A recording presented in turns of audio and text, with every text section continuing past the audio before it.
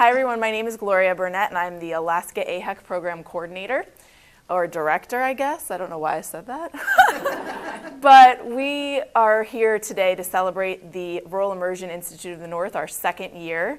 Uh, this was a, a, program we piloted last summer, and we're planning to continue. We're really excited for this next group of students that are here to share their experiences with us.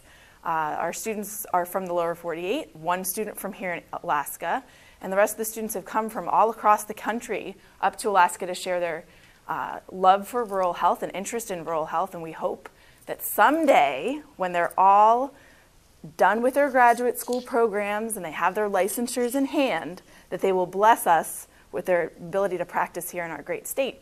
So thank you all for your time and thank you for coming and joining us. Uh, Dave Barry, I'd like to thank a special thanks to him for all the hard work he put into this program. He has seriously made this just a magnificent experience for all of you, and I'm really happy to have him on staff. And for all the, the rest of our, yeah. Thank you, Dave. and also the rest of the AHEC staff behind the scenes, Pat, who did a lot. She was our, our we'll call her a RIN mom. She was here for all of you through a lot of experiences too, and we appreciate all your time that you've dedicated, and everyone behind the scenes helping make this a reality, especially our rural partners out there that are listening in virtually right now. Thank you for everything you've done to set, that, set up these experiences for the RIN program.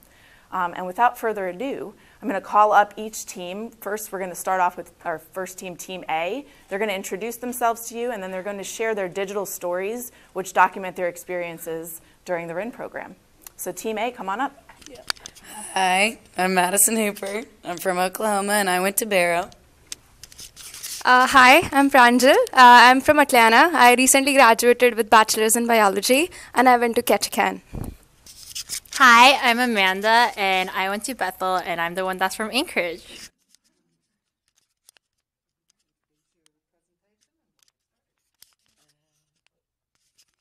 Here's our presentation.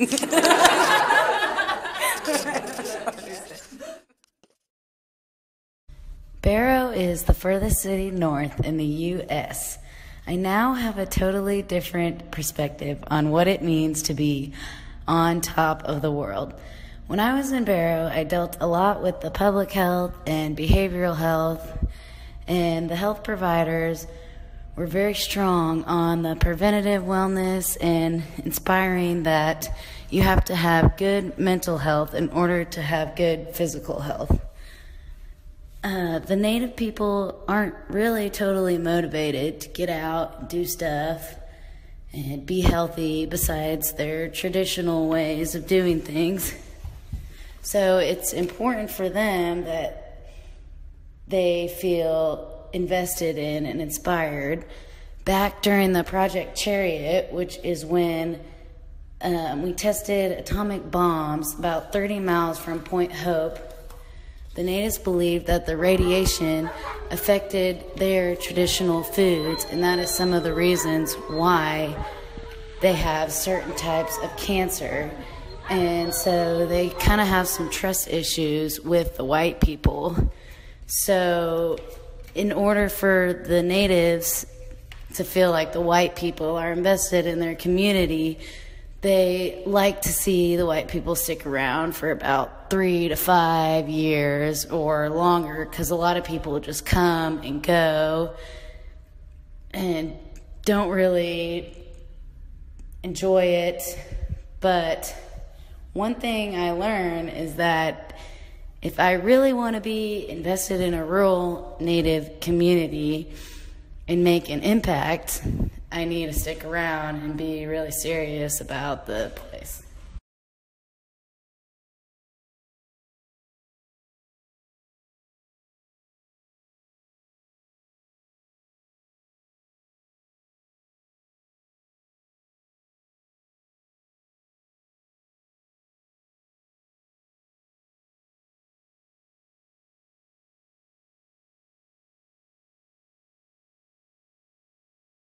Filled with wildlife, embraced by mountains, flanked by glaciers, and surrounded by parkland, our iconic adventure began in Anchorage.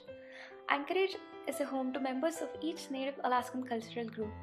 We experience the traditions of Alaska Native life, both past and the present, at the Alaska Native Heritage Center. A short visit to Alaska Native Health Consortium prepared us to fly out to rural sites. Before heading to rural sites, we took a trip to Seward.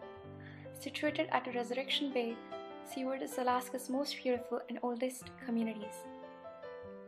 Knowing the unique requirements to be encountered, I left for the remarkable city of Ketchikan. Ketchikan is Alaska's most vibrant community. Nature makes it extraordinary, history makes it unique, and heritage makes it Ketchikan. Shadowing at a Ketchikan Medical Center was more than just a clinical experience for me. I could really feel like how it is to become a part of community and to face the challenges that the healthcare deals with. Ketchikan Medical Center is trying to address all the needs of community in one place. The center also has visiting specialties that work with them on contract. I learned that more rural you are, the more integrated your care. Due to integrated care becoming more dominant, the communication is essential. During my time in Ketchikan Medical Center, I was exposed to all different types of communications between patients and providers and providers with one another. Even a slightest twist in this chain can cause frustrations to all the parties involved but the staff at the center were able to handle all the challenges with ease. In Ketchikan Public Health Center, the preventative care is a huge focus to minimize the need of higher level of care. All clinicians are trained to detect when a patient may be experiencing emotional or mental distress during the visit. I could shadow the only psychiatric nurse in the center. She addressed all the behavioral needs of entire community. At the center, physicians and nurse practitioners also treat patients who visit them from small islands nearby. Ketchikan Medical Center is the closest facility to these islands that can deal with emergencies. In Alaska, people need an extra dose of internal warmth to compensate for harsh environment.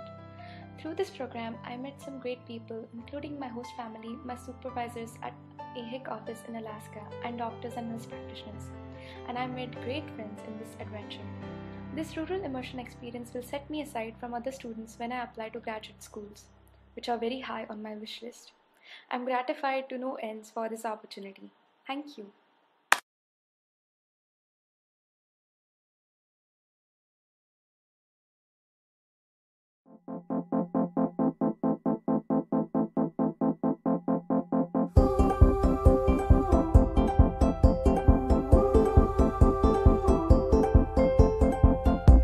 A light at the end of the darkness. The last step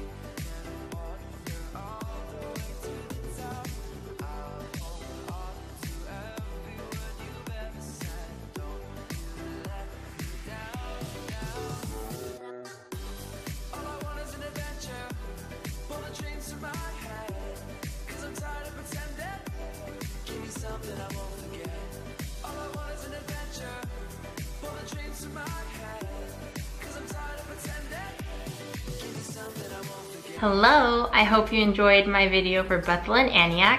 I did not do a voiceover, so I will be doing a short reflection on what I experienced during my 10-day stay in rural Alaska. Yeah, so background. Even though I was born and raised in Anchorage, Alaska, I was actually really ignorant to what rural medicine actually is. Strangely, I thought Anchorage was rural medicine, but after going to Bethel and Antioch, I know that's not true, and now I actually know what rural medicine actually is and looks like. Um, it was actually really amazing because even though there wasn't much to do besides outdoor activities such as kayaking and the subsistence lifestyle of hunting, fishing, and gathering, it forced me to really break out of my comfort zone of the big city life and actually see what people do in Bethel and Antioch do to make life enjoyable and pass time in a city where there's nothing to do.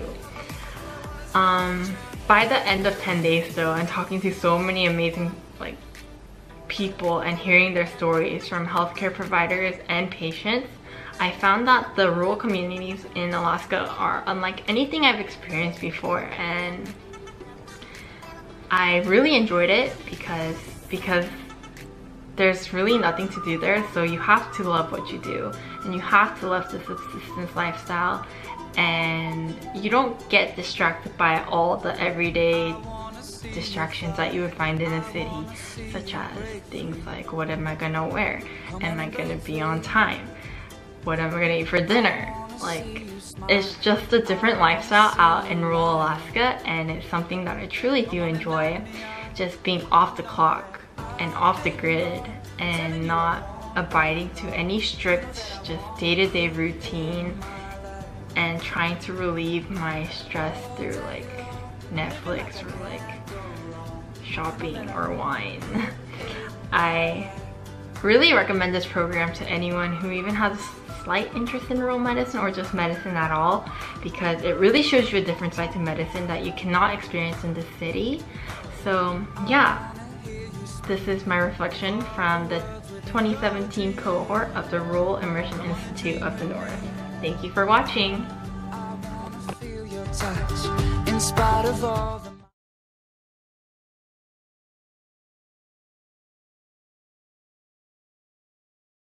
You guys went to uh, all different parts of Alaska. Um, would you guys go back, um, stay after you get your licensure?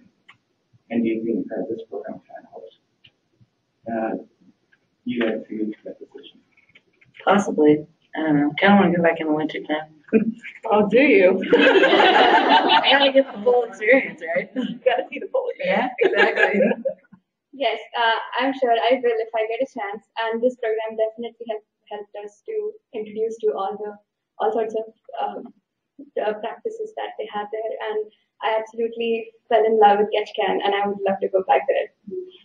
I think that beforehand, I wanted to go to all these like rural medical school programs, even though I didn't know what rural medicine was. But after going to Bethel and Antioch, I can actually truly say that I want to go into rural medicine, especially after going to Bethel and seeing how many villages feed in and how like there are no like specialty physicians, so family medicine doctors literally do everything there. I thought that was pretty amazing. So just because of the disparity and because my home is close, it's in grade, so it's only an hour flight, and I feel like being near your family is important too. So I think personally, I want to go back to Bethel just because it's near home and being a lot of physicians there. Yeah. Awesome. One more question. how, how cold was that water? It was pretty cold. it was actually a nice day, so it wasn't that bad. Yeah, right? That was the last day I was there, and it just happened to be sunny because it was pretty cloudy and windy the rest of the time. It was worth it. The polar plunge was worth it. Yeah. Thank you guys so much.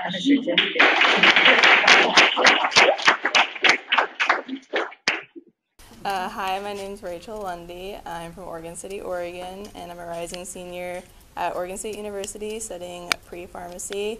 And um, my rural site was Petersburg.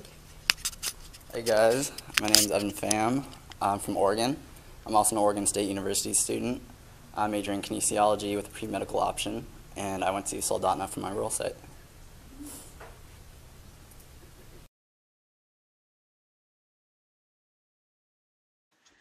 Petersburg is a small town nestled in on Mitkof Island. Approximately 1,800 residents live there year round, and in the summer, the population swells to around 3,000. Petersburg is a small fishing community that is marked with Norwegian influences, which can be seen in much of the architecture of the buildings.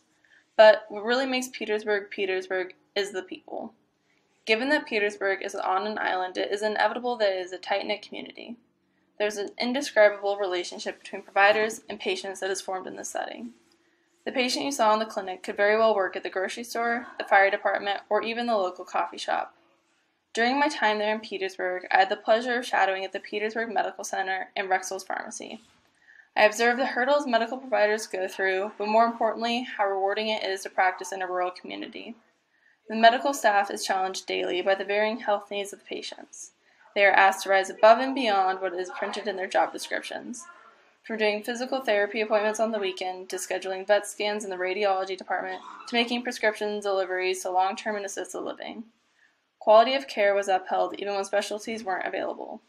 Going rural offers its challenges, but also its rewards. Petersburg taught me the great lengths necessary to provide outstanding care and the coordination and dependency between healthcare departments. The sights, sounds, and people will welcome you into Petersburg and will make living on an island worthwhile. Off the top of my head, I'd say my Alaskan summer was full of awesome sights and adventures. I love the outdoors, and whether I was hiking or kayaking, I could always appreciate Alaska's natural scenery. For my rural assignment, I traveled to Soldotna. It wasn't your typical Alaskan rural experience, being on the road system as well as having a relatively larger population, which is known to more than double in the summer. Running through Soldotna is the Kenai River, which is what attracts the many fishing and hunting enthusiasts from all over the world. I spent my days at Central Peninsula Hospital, which serves the medical needs of the region's residents and tourists. I'm really thankful for being able to shout out orthopedic surgeon, from observing the various surgeries in the OR to seeing a myriad of patients in the clinic. I was really able to get a feel for where I wanted to be in the world of healthcare. I'll never forget Alaska's natural beauty, and I definitely won't forget the people I met here. From the residents to the RIN staff to my fellow RIN students, I always felt like I was in good company. I had a fun time here, and I hope that the following slideshow can give you a sense of my experience.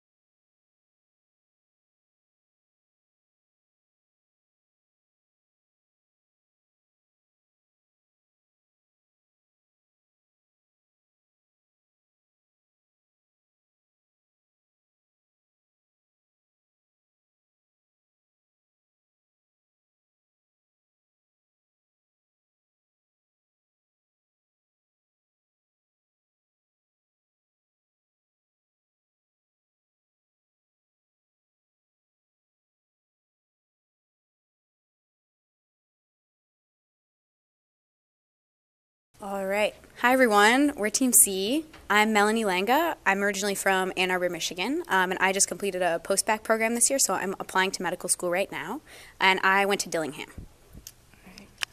Hi, everybody. I'm Jackie. Um, I am from Lehighton, Pennsylvania, and I go to a school outside of Philly. Um, I'm a pre med student going into my fourth year um, at Ursinus College, and I'm, I'm applying to med school right now. And I went to Homer and Seldovia. Hi, I am Ashley King. I am our third Oregon Stater, and I just graduated with a degree in microbiology, and I went to Ketchikan.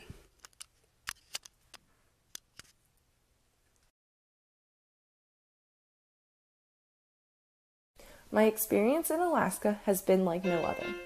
From the start of the program, I've learned so much about how different healthcare is in this rural setting. From learning all about Alaska Native culture to the process of delivering healthcare in these native villages, Loon has given an inside view to Alaskan health. There's an extremely wide range of Alaskan natives, and understanding their customs and traditions is extremely important in delivering the best care for optimal outcomes. It's so important for healthcare providers to recognize these facets of their culture in order to treat properly and effectively. And even in the main city, they still have to understand rural care for the system to work properly. From Anchorage to Seward to Homer to Seldovia, I've seen how different the system works here compared to the lower 48, and have gained an appreciation for the ease of access to care I have. In Homer, although touristy, the residents still have many obstacles they face. I had the opportunity to take a ferry over to Seldovia, a village about an hour away from Homer, and shadow the Seldovia Village Tribe professionals. I spent time learning from women at a women's gathering, learning about the mind, body, and spirit and its connection to health. I also participated in their annual health fair. A community of about 300, accessible only by air or water, the members are very tight knit. When treating patients, you were treating their mother, father, and entire family, which gave an interesting spin to the lifestyle of these professionals. I also recognized how much they had to take care of with a patient, unlike from what I've experienced. There aren't enough medical professionals to take care of each individual issue, and in Homer, I noticed that as well. Each patient who needed a specialist most likely had to schedule a trip to Anchorage, which is about six hours away. This put a burden on both the patients and medics, making the planning and preparation process extremely extensive.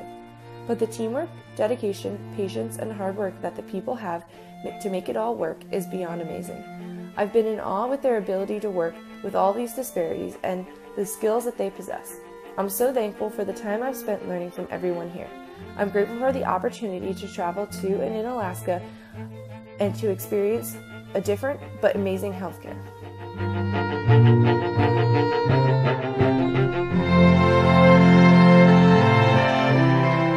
I didn't know it at the time, but my first venture into town on this beautiful bike path and subsequent trips exploring Dillingham were thanks to the public health program I visited during my RIN shadowing experience. As I learned, successful public health efforts tend to be like that. You don't notice them when they're working well, blending into and supporting everyday life, creating the conditions for people to be healthy. Dillingham sits at the confluence of the Wood and Nushagak rivers. The bike path I use to explore the shore travels along both. Town sits on a tundra plain in the middle. There are berry picking opportunities galore, and a harbor where barges, fishing boats, and tenders navigate the tidal changes every day. The salmon return every summer, outnumbering people by millions. Commercial fishing for famous Bristol Bay salmon occupies summer days and nights in this community in southwestern Alaska. The Public Health Office looks out over this harbor in the center of town, well positioned to communicate with the people and organizations that interact to promote health. Communication was an important theme throughout my time with Dillingham's healthcare providers. Whether fostering connections with local organizations or delivering a diagnosis, effective communication and the relationships built as a result were what made efforts at coordinating care successful. Shadowing with a public health nurse responsible for the Bristol Bay region, I learned how relationships among businesses, schools, government, and law enforcement can combine to affect and promote health. This placement taught me about efforts to keep the whole community and region healthy.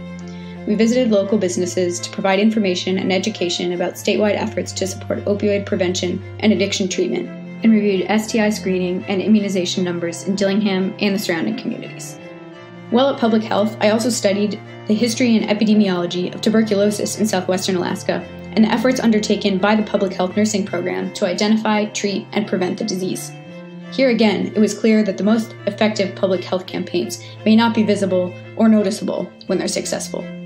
TB is no longer a statewide scourge it once was, but still, there are TB testing days at Dillingham and Bristol Bay regional schools and surrounding villages to identify potential outbreaks and stop them quickly.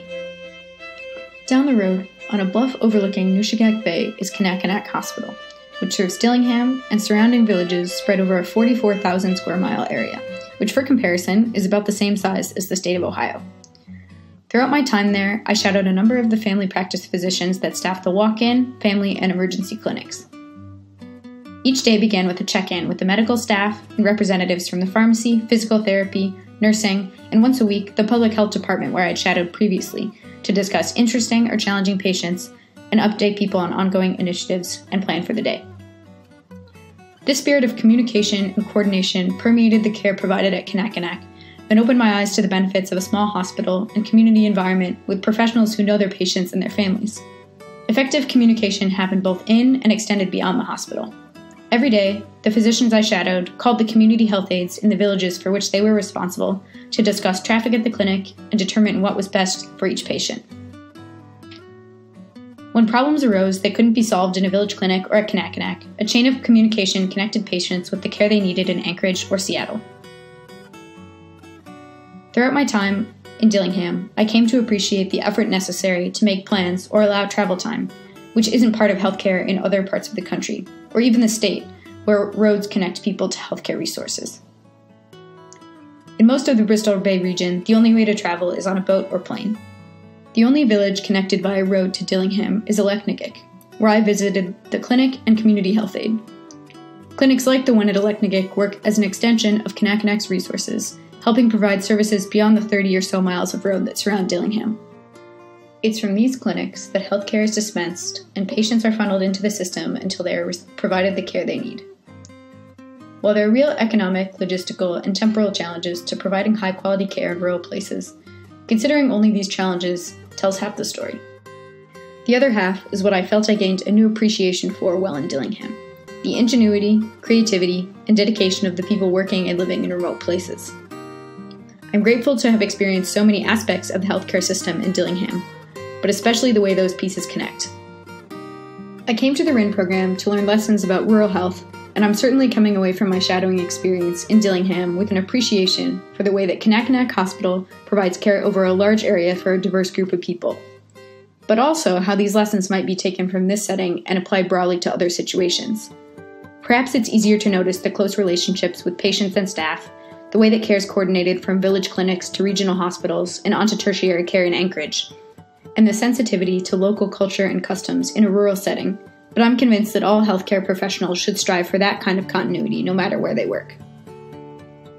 Learning from healthcare professionals that worked in a wide variety of scenarios but took the time to listen to patient concerns and consider important contextual factors about their lives as part of their care plan in each of these instances has made me even more interested in pursuing a future healthcare career in a rural setting.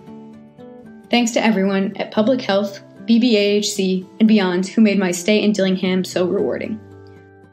I'll take the memories of the beauty of Dillingham's environment, especially these Wood River mountains I got to look at every day, and the realities of rural healthcare, from my experience at RIIN into my future training. Until next time, DLG, thanks for everything. Ketchikan. Six square miles of rural island life that provides healthcare to a population of more than 35,000 individuals in southern southeast Alaska.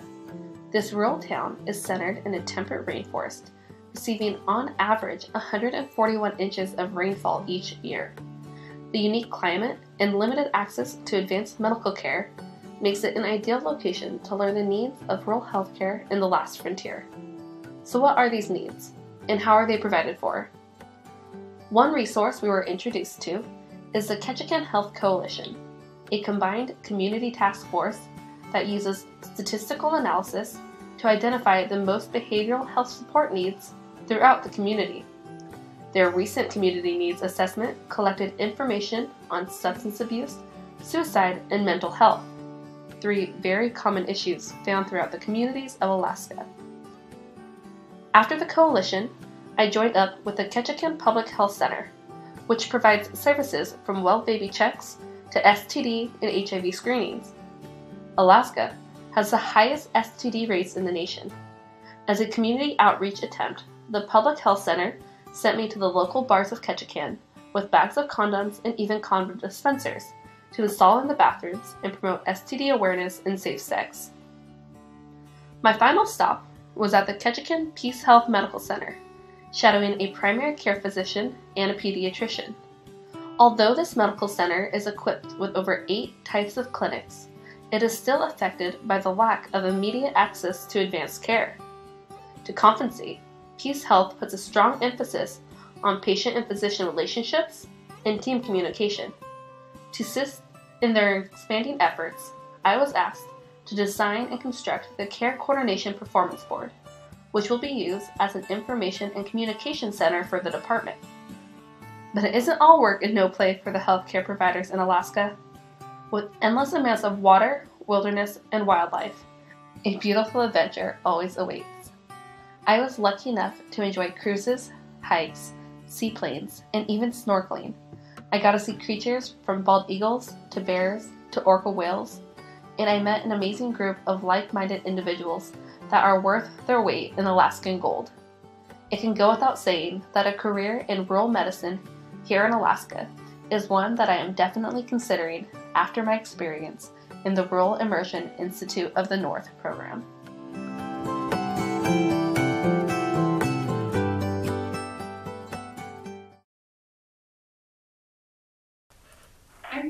Just kind of curious, I should have asked this with the other students, did any of you guys stay with host families? Oh, we Uh-huh. Yes. Yes, again. yeah. Um, and, and did that, like, do you feel like that enhanced your experience while you're there? Can you talk a little bit about? Oh, 100%. Yeah, absolutely. So in Ketchikan, we got to stay with uh, a family, Joe and Susie Williams, and they are um, native Tlingit, so we got to stay in Saxman. And being a part of that, we really got to experience not just you know our shadowing position, but we got pulled into the community. And our host dad, he even set up um, community events for us. We got to go out and do the snorkeling, do the cruises, see the town from a local, not from a tourist setting, and especially in a like environment like Ketchikan where you get five cruise ships in every day, getting to have them with us made it amazing. And then getting to go home and you know having those family dinners and the Sunday morning church uh, like services, it was incredible, and it really made Ketchikan not feel like a job shadow, but a, a home for the attendees that we were there.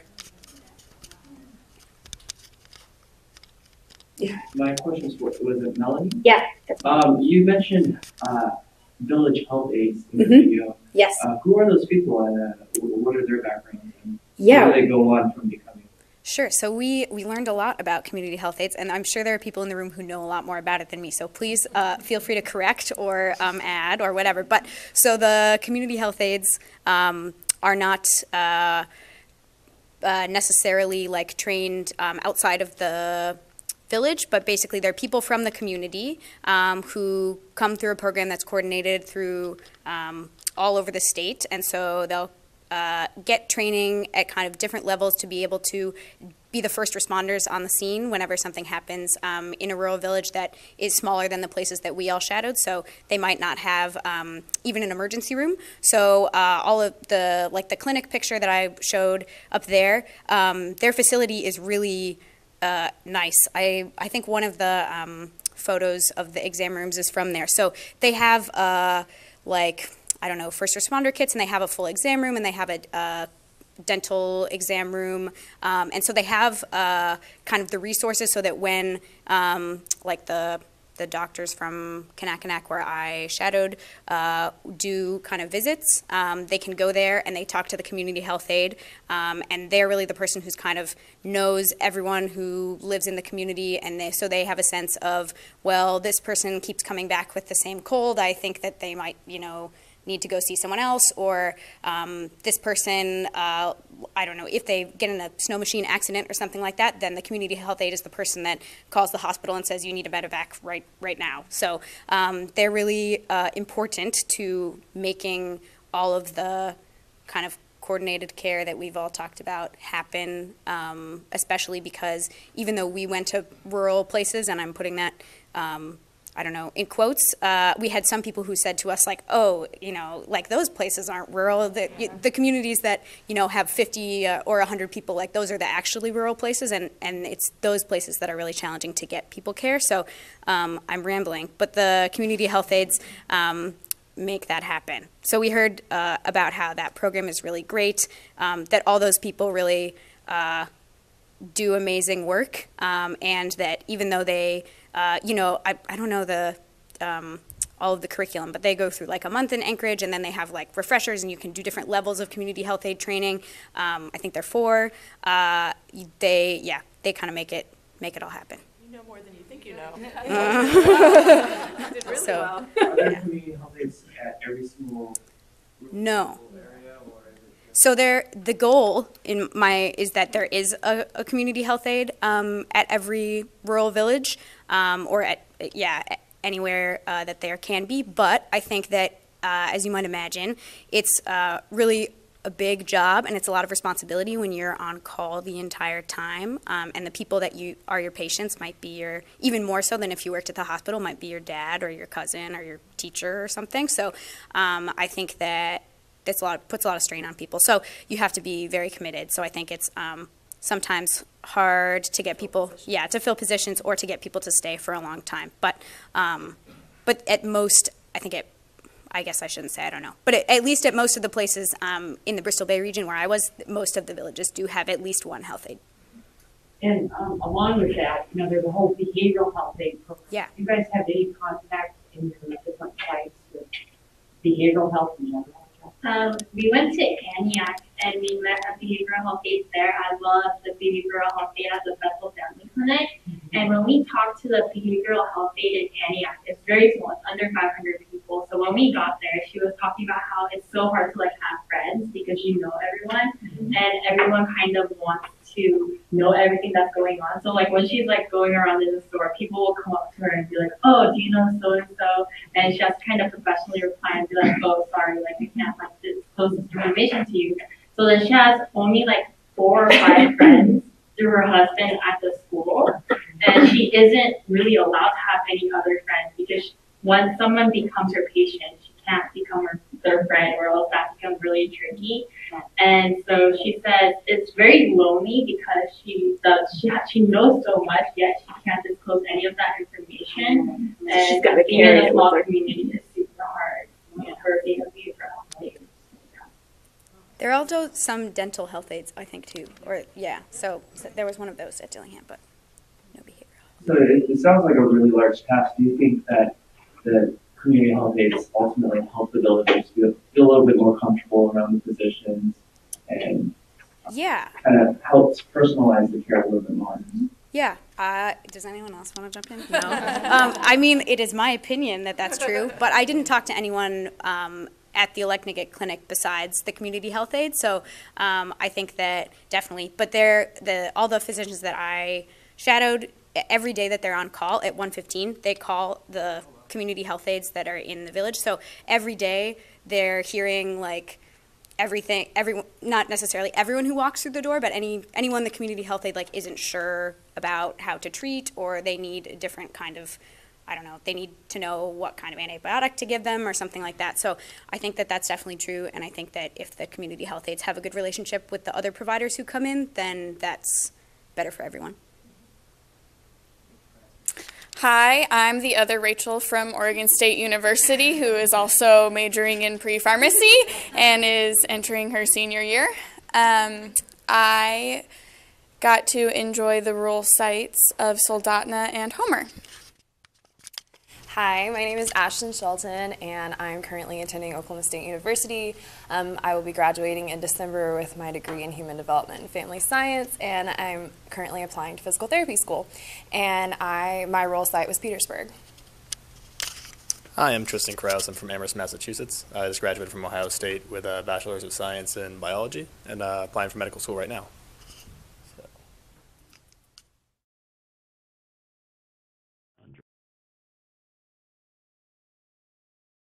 Coming into the RIIN program, I didn't know what to expect. After 51 hours of provider observation, two healthcare facilities, and one amazing Alaskan adventure, I know now I couldn't have expected how wonderful of an experience I was going to receive. As I landed in Anchorage on July 12th, I knew my adventure had begun. As we learned about Alaskan culture and Alaskan healthcare, I didn't know how relevant this information would be to my experience in my rural site since I was in a more urban setting. I was soon going to find out that even though I was in a more urban setting, all of this information would still apply. I was first placed in Soldotna at Central Peninsula Hospital in their oncology unit. This is where I spent 20 hours in three days seeing how nurses could make an individual's treatment a little less painful. Every nurse knew every patient's name and did their best to cater to the patient and the patient's family's needs. These nurses worked with other providers to provide the best care possible. From Soldotna, I went down to an eclectic art town with a fishing problem. This was the quaint town of Homer. Here I shadowed at Scott's Family Pharmacy, where I received a pharmacy experience like I never have had before. The pharmacist and pharmacy technicians worked nine hours a day, six days a week, trying their best to fulfill the pharmaceutical needs of the community. This was typically seen in giving patients the best price for their medications while still being able to keep the doors of the pharmacy open. Even though I was in larger cities, I saw the hardships healthcare can have on individuals when practicing medicine in the great state of Alaska.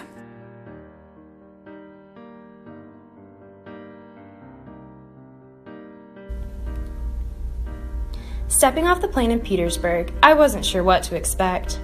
I came with an open mind and ready for just about anything. However, what I experienced during my time in Petersburg was more than I could have ever hoped for. Petersburg is a charming little community located in southeast Alaska. The town is known for its Norwegian culture and fishing industry. However, the best part of Petersburg is the people. From the moment Rachel and I arrived, we were welcomed with open arms. Each person we encountered was genuinely excited to have us visiting. This made our time all the more enjoyable. I quickly learned that Petersburg is a very close knit community and everyone knows everyone. As a healthcare provider, this means your patients will most likely be familiar faces, maybe even a close friend or family member. I shadowed medical professionals who really knew their patients and strived to give them the best possible care. I believe they raised the standard of care to a whole new level. Being a small hospital on an island means that the Petersburg Medical Center has to work with what they have. They may not have many specialty areas, but they do have healthcare providers that go above and beyond to compensate. I watched a primary care doctor call upon her knowledge of optometry in order to diagnose a patient.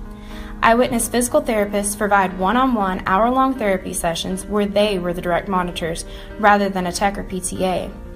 I observed a public health nurse comb through vaccination records so she could send out reminders to families telling them which vaccinations their children needed and information on those vaccinations. Again and again, I was blown away by how hard these providers worked and how passionate they were about their jobs. I came into this experience hoping to determine whether or not my future lies in rural medicine. I can now move forward knowing this is the exact environment in which I wish to practice. I am beyond thankful for this experience and the valuable lessons I learned along the way.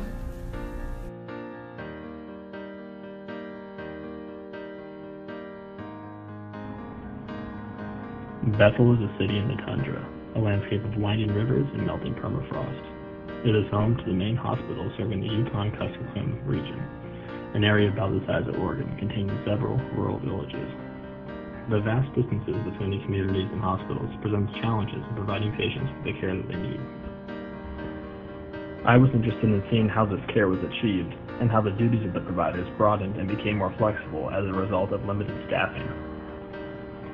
In Bethel, the range of responsibilities that providers encounter are much broader than what I have seen in the lower 48. Much of the time, the specialists that are needed are not available in emergency situations, and the providers who are present are responsible for either caring for the patient or stabilizing them so they can be sent to a hospital where the proper specialist is located. This is part of the reason why working here in the future is so appealing to me. Each day is different from the last, and you never quite know what to expect. When I told people in Anchorage that I was going out to Bethel, it seemed that no one had anything nice to say about the city. When I arrived, I didn't find myself agreeing with this at all. It's flat, and there's not much to do, but the tundra is beautiful. It's full of berries to eat and rivers to kayak in. A new fitness center complete with exercise classes and a pool has been a recent addition to the city, which is a great place for bettering the health of the residents, especially during the long cold winters. The overall feeling of the city for me was that it was a kind and accepting community. People who I had never met before on the street always smiled and waved to me as we passed each other. I doubt that the people who told me that Bethel was a place to avoid had ever really been there themselves.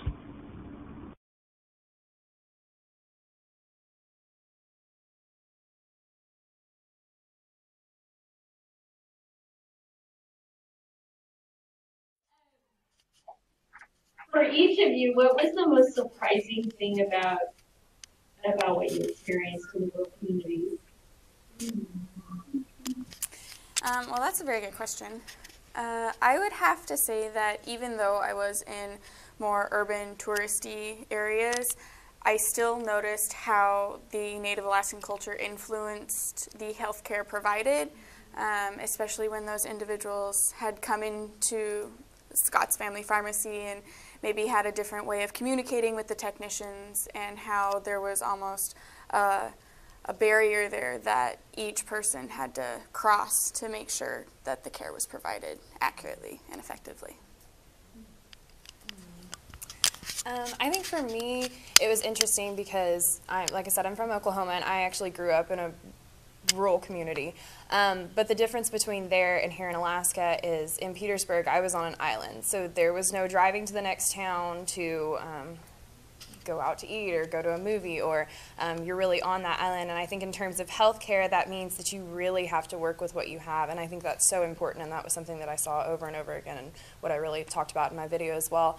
Um, just because a doctor can't take the easy route and just be like, oh, go see this specialist, because for them that means they have to fly to Juneau or to Seattle or to Anchorage. And um, so I think to those healthcare professionals, they feel that it's so important to really um, try to do what they can. Like I said, I worked with a doctor um, who had to perform like an eye exam and try to do a diagnosis, and she had to call the ophthalmologist that was in Juneau and try to figure everything out. Um, and she's a family care doctor, so she just deals with so much more. Their scope of practice is just so broad, and I think it's incredible. Um, I also thought it was really interesting. I hadn't really thought about the fact that, um, like Petersburg, they don't deliver babies there, um, so you have to go somewhere else um, to deliver about two weeks before your due date. So I found that really interesting as well, and kind of an obstacle that they have to deal with. So yeah.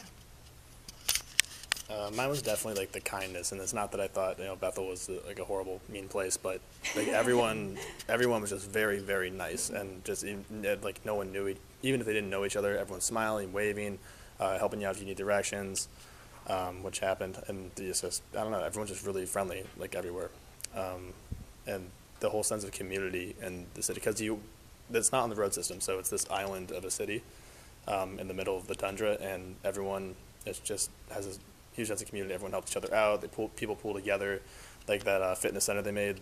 They they were I think they pulled together and campaigned for that for a very long time before they could get it, and uh, and eventually it happened. And uh, I think coming from you know the East Coast where there's like Boston, New York, it's kind of like everyone's on their own mission on the sidewalk, you know, and it was a very different feeling there, and I liked it a lot. And, yeah. I feel that, I know what you mean. Go ahead, another question. Um, My question's about food. Uh, so, while you guys were here in Alaska or in the villages, is there anything new that you guys tried, or this goes out to the whole group, is there anything interesting that you tried, or something good, aside from Mrs. Stew? Anything good that you guys tried? out in the- Did anyone try muktuk? No, I'm so mad. They didn't really like, I cut it,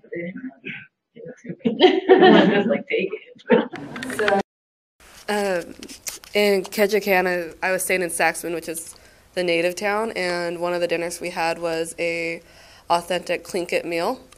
And one of the things that they serve, and they serve it on a huge table with um, newspaper on it, is little tiny herring eggs, little fish eggs. And how they catch them is they take branches and they put them in the water, and then the eggs crumble up on it pull it out and you've got these clumps of just baby eggs, and when you eat them, it sounds like you're chewing on bubble wrap. It's just like pop, pop, pop, pop, pop. But yeah, that was definitely a unique experience for me, getting to have you know fish eggs for the first time, and then it was with uh, hooligan grease. So the hooligan fish, like they took the grease, let it ferment and cook, and if you like fish, you must really like fish to like this hooligan grease. As, as you envision yourself in the future as a provider, has anything you've experienced during this changed um, or evolved how you see yourself providing care? Like you had a vision of before and now you, you know, something's a little different or you came to a, a different conclusion than you had previously about how you're going to provide care? Um, I guess I can take that one first. Um, for me, um, I've shadowed in a couple of different physical therapy clinics before, um, and one thing I noticed back home, and this is what I just kind of thought was the norm. Um, I shadowed like at a clinic that would have two PTs, um, and then they would have a handful of techs, and they would double book, or they would have multiple patients in there at once. Um, and so they would have the techs doing like the exercises, and at the end they would do the massage and that kind of stuff. And so there wasn't a ton of one-on-one um, patient care. Um, and I also thought that the PTs weren't really able to monitor their patients probably as well as they should have because there was a lot going on. Um, and not that I didn't appreciate that experience, and I think the PTs are probably great, but something that I really noticed here, um, and we also shadowed yesterday in Anchorage, and so I saw it both in an urban setting and in the rural setting, is they don't do that, or at the places I was at, they didn't. Um, they just spent time one-on-one with those patients. That they didn't have techs, um, and so they were doing the full care and the full monitoring, and so they were knowing exactly if what they were doing was making their patient better. Um, and I just like when I practice, that's how I want that one on care. If I get the degree, like I want to do it all, I don't. So I just, yeah, that was something I thought was really important. Yeah, so uh, as far as know, working in a small community like Bethel, um, like we were talking about before, just knowing everybody and then also being a provider can get kind of awkward. But at the same time, I was excited to. I really am interested in working in Bethel, and part of that reason is how close you get to know everybody. So I really want to do emergency medicine. So the fact that you know a lot of the people who might be coming in, I mean, you, there's so much information you have to get really fast. And if you are a part of the community, you can get it so much faster. I mean, if you already know the person, if you see them around, you know what they do, what they like, like just having that background, I think that would change a lot about what you would do as an emergency medicine physician. So. Um, for me personally, it's just the knowing patients by name and not by a number. Because when I've ever shadowed down in the lower 48 in Oregon, it was always who's next on the list, what is their prescription number, let's get them through the system and get them out the door. Here it was really everybody took time to understand what was happening and they were very willing to answer any and all questions patients had and on a first name basis. So when you walked through the doors of the pharmacy or you walked into oncology, you were greeted by your first name and not by, okay, this is where you're going today and we're just going to treat you and send you on your way. So I think for me that was very valuable to know that you can still provide very great care, but it's easier for the patients knowing that they are now kind of a person and not a next on somebody's list. So like, sorry, yeah, sorry. So flexibility too. Flexibility is huge. You can't. I mean, if you're working in that kind of situation, you can't be stuck in your what you like and how you like it and what you want to do, because you don't know what I mean what responsibilities are going to be put on your plate because there's not people there aren't people to to the specialists there they might not be there, so you're gonna have to do it if it's an urgent thing. So if you're not willing to step out of your comfort zone or be willing to change how you do things, then you know, it might not be for you. And I, but I really like that, and that really intrigued me, and I think that's why it would be a good fit for me.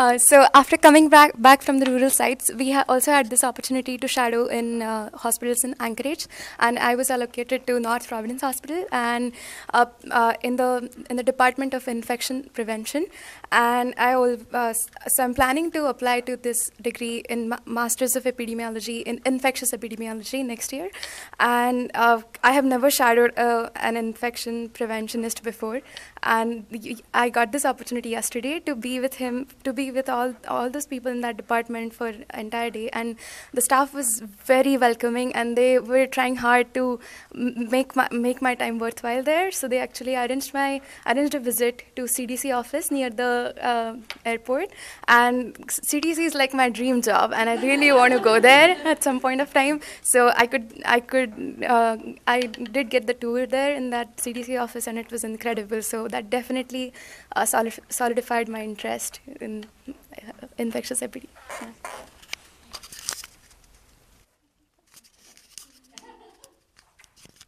Well, if there's no other questions, we're, oh, one more. Mari, all right. I, Well, I just, just for everybody who participated this year, is there anybody who's, who, any of you interested in coming back specifically to Alaska to, to provide care? Well, we all feel that there should be a RIIN part two in the, in the winter, so we can all experience a winter here in Alaska. It might be here. would everybody sign up for RIIN Part 2? Yes. Okay, all right, all